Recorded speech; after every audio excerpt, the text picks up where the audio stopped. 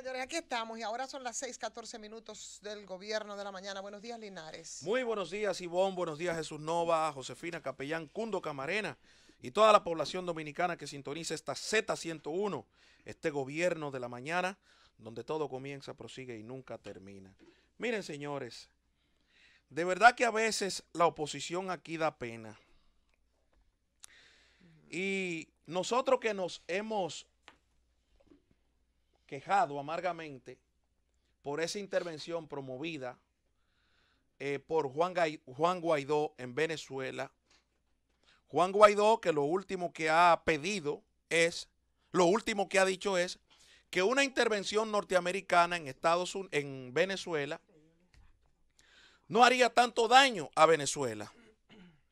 Y después de haberle cerrado todas las puertas a este país, este líder opositor que ha demostrado no tener control dentro, ha hecho todo lo posible para que a Venezuela la intervengan los norteamericanos. Esto traería un problema con los rusos, con los chinos y con toda la gente que tiene inversión allí. Pero ¿por qué traigo esto? Porque toda la comunidad se ha quejado amargamente sobre este proceso pedido por Guaidó, sobre este evento que está pidiendo Guaidó. El señor Luis Abinader va a Estados Unidos a plantear una preocupación por aprestos de la reelección presidencial. El alto dirigente de la oposición se reunió con funcionarios del Departamento de Estado. Y usted no está diciendo aquí que la reelección no va a pasar, que ustedes tienen el, el control en el Congreso. Ustedes no están diciendo aquí que ustedes están sellados que la unión suya con Leonel Fernández, que va más allá de la teoría y ya la ubico en la práctica, ustedes no están diciendo que tienen el control para impedir la reelección presidencial. ¿Y por qué usted tiene que ir a Washington allí a conseguir lo que usted no puede conseguir dentro? Porque usted lo está anunciando, usted anunció que ya tiene el control de todo, que la reelección no pasa, porque sus legisladores están ahí firmes y no se van a doblar. Y los, legisladores de Leonel Fernández están ahí firmes. Y eso hace impedir la reelección. Bueno, pues entonces fájense a hacer política aquí a lo interno. Y no estén denunciando que el gobierno eh, quiere comprar y quiere vender. y que, que Porque si quiere comprar, entonces los legisladores de ustedes se pueden vender. Pueden comprar. Entonces, una cosa es con guitarra y otra es con violín. Entonces no es tan seguro que ustedes tienen el control de sus legisladores, porque ustedes están denunciando que el gobierno le puede comprar sus propios legisladores. Por tanto, el que, el que no cree en sus legisladores, el primero que no cree en los legisladores es usted como líder opositor. Y usted está denunciando en Washington lo que no puede conseguir aquí, políticamente hablando que vuelvo y repito, ese tema de la reelección y los guardianes de la constitución, ese no es más que un tema de, momento y por tiempo para algunos, para algunos, porque hay otros que son antireeleccionistas. Pero señores, aquí en el 2010, si no se hubiese reformado la constitución, mire, Leonel Fernández, Hipólito Mejía y hoy el propio Danilo Medina, estuvieran en su casa, estuvieran en su casa pero aquí toda la clase política, yo lo recuerdo como hoy, estábamos en el partido, yo estaba en el partido y detrás de Hipólito Mejía, yo estaba ahí detrás de Hipólito Mejía. Hipólito estuvo de acuerdo con el pacto de las corbatas azules. Estuvo de acuerdo también la doctora Milagros Ortiz Bosch. ¿Por qué? Porque una de las condiciones que traía el pacto era volver a la constitución del año 94. La constitución propiciada por Peña Gómez uno te, tú eh, tienes un periodo y te vas para tu casa y vuelves y, y, regresas. Ah, pero espérate, ustedes tuvieron toda la clase política de acuerdo con eso. Cuando Miguel se sienta con Leonel, yo recuerdo a Orlando Jorge Mera, que era secretario general del partido, también estuvo de acuerdo con, el, con, con lo que se se le iba a reformar a la constitución. Y en el 2010, entonces se reforma la constitución y se le permite a Leonel, se le permite a Hipólito que vuelvan al escenario político. Ahí no, ahí no había, ahí estaban respetada la constitución, ¿verdad? Eso es lo que ustedes, esa constitución, es que tiene a Leonel y tiene a Hipólito vivo políticamente.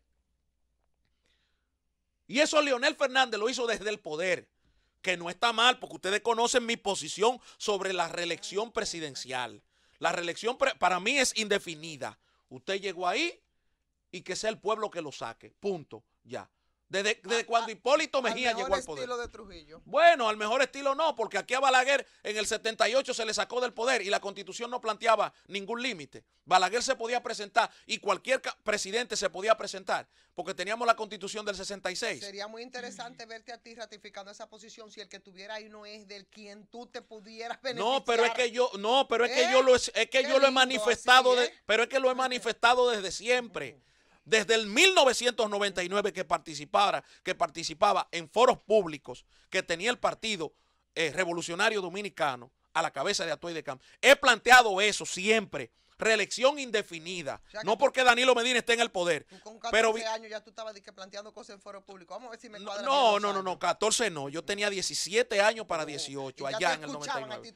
No, no me escuchaban, pero yo escribí artículos pequeños ahí y lo discutíamos. Un foro de la juventud. Ya, muy sencillo. Porque yo vengo desde el 94 con 11 años trabajando en el partido. Así que no, no tengo, no tengo esa, esa, no, bueno, niño prodigio, no, 11 años, 11 años porque en el 94 mi papá era guardaespaldas de Peña Gómez. y tú venías trabajando en el Bueno, hacíamos marcha, hacíamos ¿Eh? caravana, hacíamos de todo y nosotros estábamos en el partido haciendo de todo lo que había que hacer. Si te permitía hacer eso con 11 años, tu papá es un abusador. No, no es un abusador, eso es mentira. No, no es un abusador. no es un porque en mi, en mi, casa se respiraba política. En la, política en la política no.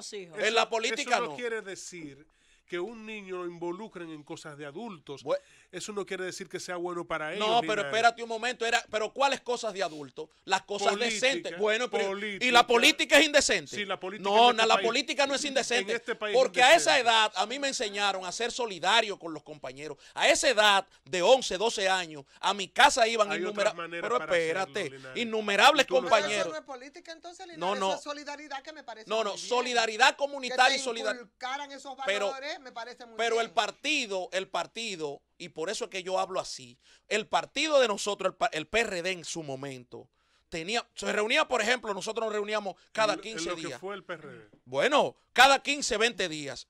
Y allí se les, se les enseñaba política. Desde muchachos nos enseñaban política, a ser solidario, a ser compañero. Por eso usted vio aquí en, este, en esta mesa que el único que estuvo que siendo solidario con Rudy González cuando estaba preso allí fue este vocero natural de las causas PRDistas. Fui yo, no fue más nadie. Entonces, por eso es que yo tengo, cuando me, me pongo una posición aquí, dentro del PRD y fuera del PRD, no hay que oírla. Ah. Pero ¿sabe por qué lo hago, Ivonne? Porque ah. eso se me enseñó desde muchacho a mí.